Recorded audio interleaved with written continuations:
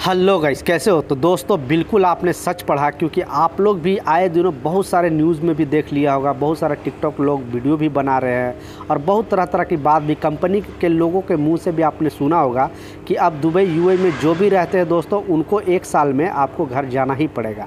अगर नहीं जाओगे दोस्तों तो आपके ऊपर फ़ाइन आएगा। अगर कंपनी नहीं भेजेगी दोस्तों तो कंपनी के ऊपर फ़ाइन आएगा। प्रॉपर स्टेप बाय स्टेप आपसे बात करने वाला हूँ। तो दो तीन मिनट का वीडियो है लास्ट तक देखना, ताकि आपको पूरी जानकारी मिल सके, क्योंकि कम जानकारी की वजह से दोस्तों, हम लोग जो लेबर ग्रेड के लोग हैं, वो लोग फंसते हैं। इसलिए दोस्तों, ये अपडेट लेकर आया हूँ कि ताकि आपको जो सच्ची जानकारी हो, मैं दे सकूँ। तो पहले तो दोस्तों, जो भी ऑफिसली चीज़ होता है, उसी पर मैं बिलीव और विश्वास करता हूँ। और मैं चाहता हूँ कि जो भी मेरा ऑडियंस है, उसे अपने ऑफिसली जो न्यूज़ आता है, जैसे मैं जैसे बताया खलिज टाइम्स यहाँ का ऑफिसली गवर्नमेंट का पेपर है। दूसरा गल्फ न्यूज़ यहाँ का ये गवर्नमेंट का पेपर है।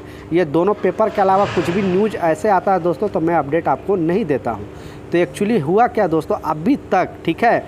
ये जैसे इंडिया में कैसे बोलते हैं न्यूज़ वाले के? सूत्रों के हवाले से। तो लोग ऐसे ही बात कर रहे हैं। सूत्रों के हवाले से आ रहा है ये खबर। एक्चुअली गवर्नमेंट का ये रूल ऐसे भी है कि आपको एक साल में एक महीने की छुट्टी कंपनी देगी। बट दोस्तों, आपकी मर्ज़ी है। आप चाहो तो जाओ, नहीं चाहो तो नहीं जाओ। आप दो साल भी रह सकते हो लगातार, तीन साल भी, चार साल भी, पाँच साल भी। आपकी मर्ज़ी। आप भी देखते हो कि बांग्लादेश के भाई लोग बहुत ज़्यादा यहाँ पे चार साल, पाँच साल लोग रह लेते हैं कंटिन्यू तो ऐसा कोई रूल नहीं है दोस्तों तो आप इस पर बिलीव विश्वास बिल्कुल नहीं करना कि गवर्नमेंट ने ऐसा रूल बनाया है कि हाँ आपको एक साल पे जाना ही पड़ेगा।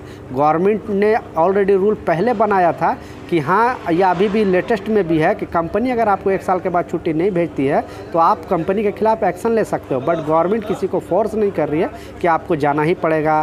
तो ऐसा झूठी खबर के लिए दोस्तों, मैं ये वीडियो अपलोड किया ताकि आप लोग को विश्वास हो सके कि ये सब झूठी खबर है। और कोई भी कन्फ्यूज़न है दोस्तों, चलता वीडियो में, चार अंक का कोड आएगा, उस कोड के साथ कमेंट करो, आपका भाई ज़रूर रिप्लाई करेगा। मिलता हूँ दोस्तों, नए अपडेट के साथ, नई जानकारी के साथ, जब तक, जय हिंद।